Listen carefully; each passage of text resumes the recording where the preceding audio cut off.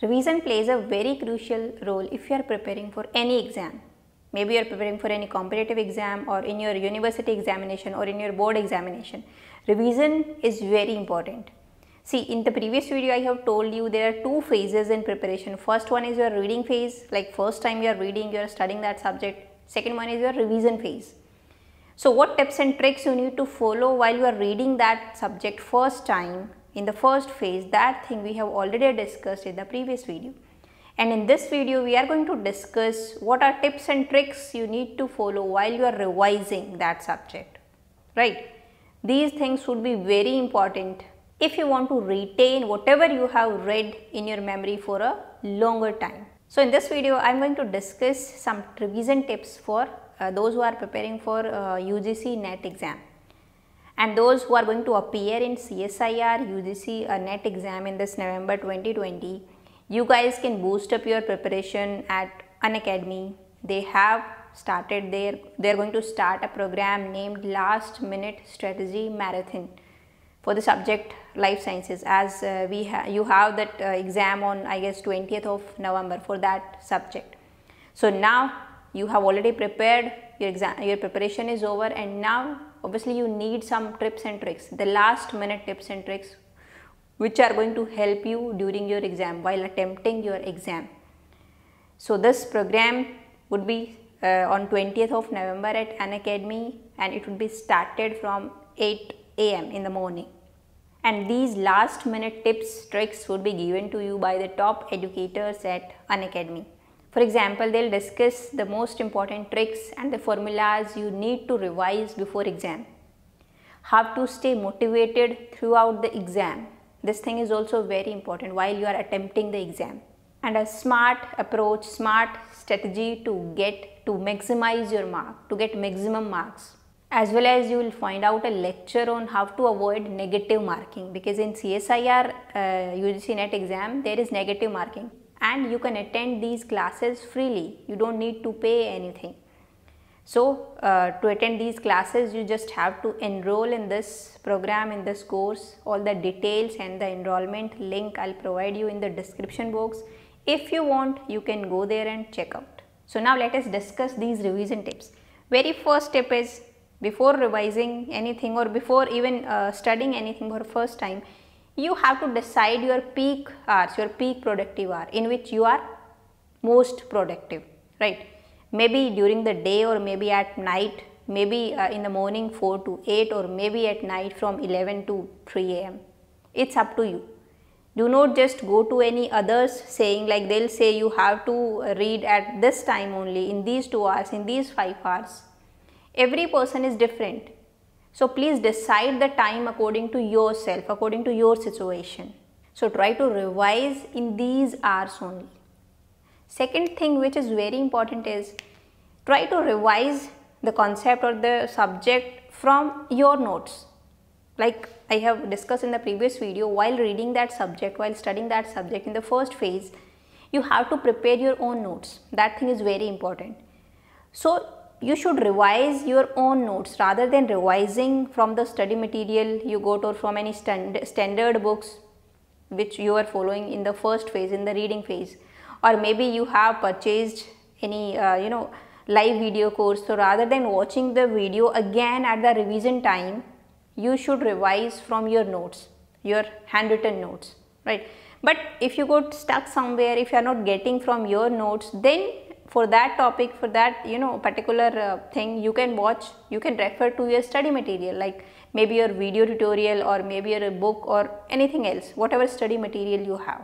And while revising from your handwritten notes i would suggest you prepare very short notes or you can uh, name it at, uh, as revision notes. Like if you think that this formula is very important or if uh, you have figured out some short trick for that uh, you know particular topic or in that topic or anything which is very important. You can just note down that thing that thing for that subject. So you can make a revision notebook and you can make your revision notes. But please do not try to waste your time at you know while preparing revision notes. Those notes would be you know very short notes. Like for one subject complete subject your revision notes may be within 2 to 3 pages just the most important thing or just those things you uh, you know uh, you think that or you have analyzed the previous paper and you think that from this topic from this formula or based on this formula they every time they ask question. So this thing is very important. So you can just note down again that formula that thing in your revision notebook. So that again if you want to uh, you know revise something or if you want to see uh, those, those, those most important things so you can just refer your revision notes maybe on the day of exam or one day before exam. Next thing is do not take your revision lightly. You have to be very strict while revising. It's not like that i have already studied this and it just revision. No you have to be very strict while revising. You have to be very attentive. You have to be very active at that time. And also you can make a revision uh, timetable and you need to follow. You must follow that timetable for revision also as well as one more uh, point here is what it's not like that maybe uh, you are sitting in a room and where tv is on or some music is going on or uh, maybe while revising you are just you know uh, checking your phone your the notification and everything like whatsapp or facebook or anything. You think that it's revision only i have already studied that subject. No. Please do not get disturbed by these things while you are revising it is same as you are reading that subject first time. At that time also you need to take care of these things. Because if you suppose that music is on and you, you suppose that tv is on and you are revising that uh, any subject so it will take longer time. You know at that time your mind is not that much concentrated on that subject. It is divided. It is also listening music also you know maybe watching tv or anything else and you are revising also. So it is going to take longer amount of time right. And you will not remember that thing for a longer time. Next is try to teach other person while you are revising or maybe while you are reading at that time also. Because if you are teaching you know uh, to other person at that time it is your responsibility to make the other person understand that concept understand that topic. And at that time you you you know your brain would be very active. It will think in all dimension. Like this type of question can be asked. This type of doubt can be raised. So you need to obviously when you are teaching you need to clarify all the doubts of other person or other students right?